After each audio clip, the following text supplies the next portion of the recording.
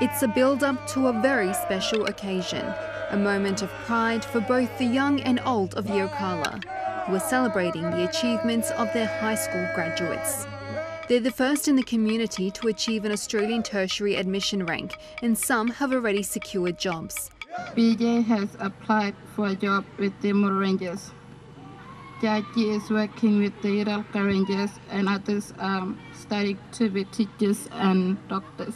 The school believes the students having access to a bilingual program has made a big difference, giving them a chance to study mainstream subjects in their own language. These two teachers then have to work together very closely so that um, the children grow up um, like these children that are going to graduate in walking in the two worlds. This success is a result of years of hard work from students and teachers. We would come here every term for two weeks, and Andrea and myself would drive to their houses, on their knock on their doors, and try to get them to come to school.